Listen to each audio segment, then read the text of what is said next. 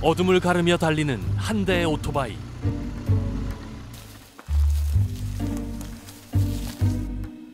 한치 앞이 보이지 않는 이 야심한 밤에 대체 뭘 하려는 걸까요? 어릴 때 보고 오랫동안 잊고 살았던 별을 지금 한 7년째 열심히 별을 찾아다니는데 그동안 못 봤던 별과 나와 따라 살았던 사람들이 그 삶들을 돌아보니까 불행했던 것 같아. 평범한 일상이 그저 행복이었고 기쁨이었던 어린 시절. 그 잊혀져 버린 행복을 찾아 지리산의 시인이 됐습니다. 별나무를 찾아 전국을 누비는 이원규 작가를 만나봅니다. 백운산 자락에 위치한 광양시 다안면. 지금으로부터 4년 전 이원규 작가는 이곳에 새로운 터전을 마련했습니다.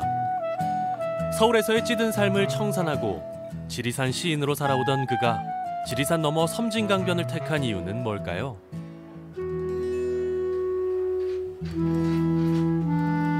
백운산과 지리산이 섬진강을 도 마주보고 있는데 덩치는 지리산이 더 큰데 백운산이 기운상으로는 형님산이라고 그래요. 옛날 도선국사 때부터 그랬어. 요 지리산 마지막 공부는 백운산 와서 해야 된다.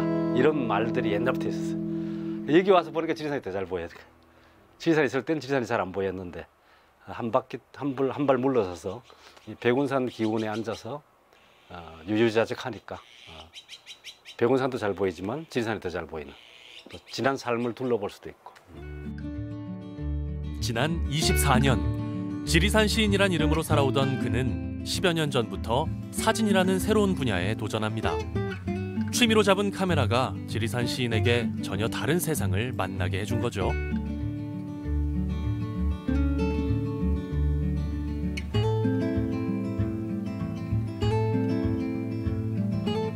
사진 한 장으로 시 한 편 되는 수는 없을까? 이걸 고민하다가 그래서 아, 영상 사진 한 컷이 시 한 편이 되는 아, 그러니까 카메라로 시를 한번 써보자. 사진으로 시를 한번 써보자. 이런 생각이 좀 들어서 한 10년째 좀 다른 사람들이 좀 안 찍어왔던 것또 제가 지리산 섬진강에 사니까 다른 사람들 작업하지 안 했던 것들 그거를 찾아서 안개와 구름 속에 야생화만을 찍다가 지금은 이제 별만 한 7년째 또 찍고 있어요. 우리나라 별만. 나무 사이로 쏟아지는 별의 모습들을 찍는 작업.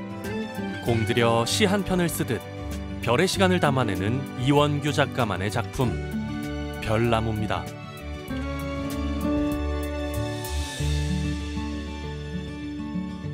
농수보들 밑에 가서 별을 기다리면 캄캄하잖아요. 홀로 있잖아요. 그럴 때 또 시가 많이 오죠. 옛날 기억도 되살아나고 까맣게 잊었던 일들도 오고 또 어린 시절의 그 추억들 같은 것들도 나타나고 돌아가신 이모님도 생각나고 뭐 다 옛날 기억들이 복원된다 그럴까요? 그러니까 다시 문장으로도 영상으로만 남는 게 아니고 시로도 다시 돌아오더라고요. 자신이 원하는 별나무들을 찾기 위해 전국을 누볐다는 이원규 시인. 하지만 원하는 나무를 찾아도 빛공해가 있는 곳에선 별이 잘 보이지 않죠. 열심히 발품 팔아 찾은 별나무가 50여 그루. 그중엔 다시 찍을 수 없는 별나무도 있다는데요.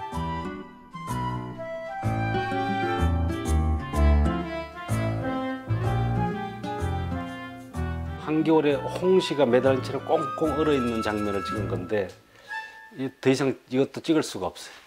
요 이 의신 지리산 의신 계곡 고래 요 근처에 다른 집이 하나 들어서서 밝아졌어요. 그래서 이걸 다시 찍을 수가 없고 또 홍시가 겨울에 안 떨어지고 이렇게 얼은 채로 오래 있기 어렵거든요. 그때 운 좋게 별이 나온 거여서 어, 별 홍시인데 제가 아주 어, 스스로 만족해서 흡족해하는 그런 작품입니다.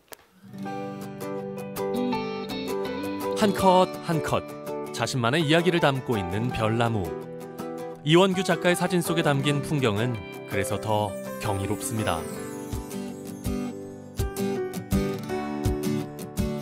내 마음대로 되는 게 아니에요. 보통의 인간은 사람들은 내가 어떻게 의도로 하면 일이 될 거라 생각하는데 그건 사람의 생각이고 이 별이 나오주는 건 하늘의 생각이에요.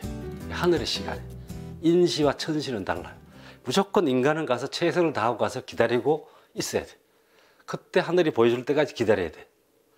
그러다 보면 문득 저렇게 저렇게 도 멀리 안 가요. 3년이나 5년 안에 한 번은 반드시 보여줘요.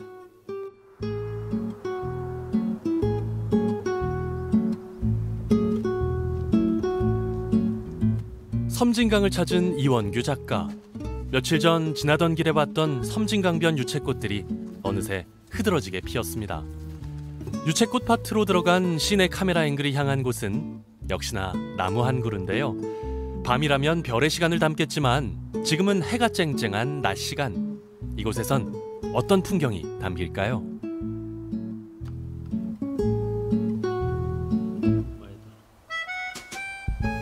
유채꽃 노란 꽃빛이 온 봄바람과 저 연초록 잎에 흔들리는 그 봄바람을 담으려고 영상으로 담아 보려고 지금 오늘 바람이 적당히 좋습니다 한들한들해서 다 흔들려 있어요 사진이 다.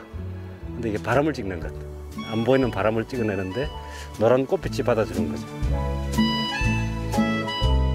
지금 이 순간 지리산 시인의 카메라 앵글 속에 잡힌 건 나무나 꽃의 형상이 아닌 바람의 시간. 밤에도 별을 담는 건 시간을 담는 거거든요. 한 20초 17초에서 한 20초 정도에 별빛을 어둠을 쫙 빨아내는 것이고 지금 낮에는 일부러 더 어둡게 만들어서 어, 흔들리는 지나가는 바람을 한 13초 동안 받아들이는 것. 한 장 사진에 13초가 들어가 있는 거죠. 자연의 시간을 쫓느라 늘 바쁜 시인. 또 나가? 어, 별이 한 두 시간만 와주면 되지. 아, 음, 여기 가까운데 정량 이팝나무 아, 이팝나무 꽃은 아직 안 폈는데 그러니까 말로는 들어봤는데 가본 적이 정량에 그런 멋진 나무가 있었나 봐요. 음, 이 동네 어디도 그런 거 충분히 있을 만한데 어찌 이런 데 가면 좋은 거 저기 농소 많다더만. 마을에도 있는데 마을에서 너무 가까워. 아, 사진. 찍기가? 사진 앞에선 늘 더 까다로워지는 남편. 게다가 별나무를 찾아 툭하면 집을 나가는 가출 전문 남편을 아내는 어떻게 생각할까요? 제가 저는 이제 사진을 잘 이렇게까지는 모르니까 깊이는 모르니까 사람들한테 그냥 그 얘기 한마디 해요. 제가 잘은 모르지만 엄청 고생을 하고 찍은 거는 가끔 본다고. 그러니까 그걸 아- 많이들 아시더라고요. 오히려 저보다 그 사진 가져가시는 분들이 훨씬 더 잘하시는 것 같더라고요. 열시고 십잘 봐. 저기 어디 가세요? 별나무를 쳐가서 이팝나무 꽃이 피기 직전인데 미리 가서 연초로 잎사귀에 별이 어떻게 오는지 한번 보고 싶어서 한번 가보는 거거든. 잘 봐. 가깝게. 지리산 구석구석을 누빌 때도 별나무를 찾아 헤맬 때도 늘 함께 고생하는 바이크. 함께 달린 거리가 자그마치 지구 25바퀴인데요. 별나무가 숨어 있는 오지 마을을 찾아다니는 데는 이만한 파트너가 없습니다. 오늘 별나무를 찾아온 곳은 이웃 동네 경남 하동의 한 마을. 초생달이 저 끝 서쪽 하늘 넘어가고 있는데도 별이 초롱초롱 나오기 시작했습니다. 날은 잘 잡은 것 같아요. 아주.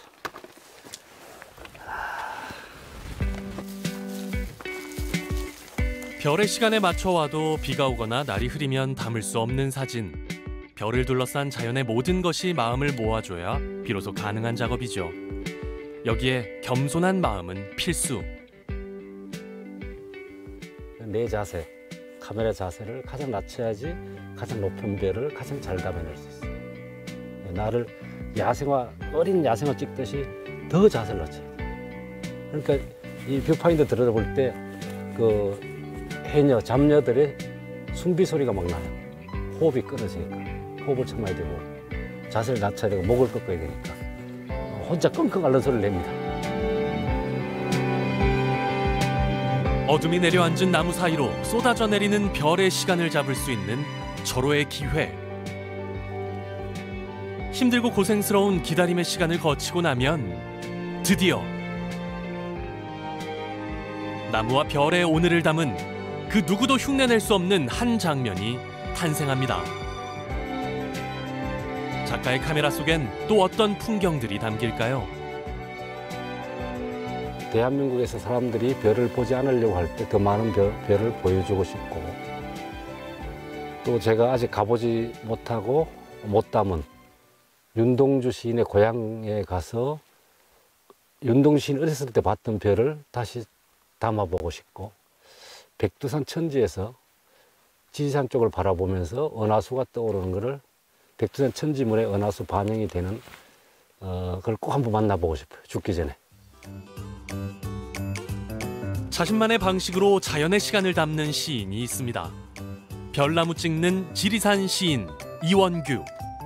시와 사진을 통해 그려가는 그의 낭만적인 내일을 기대합니다.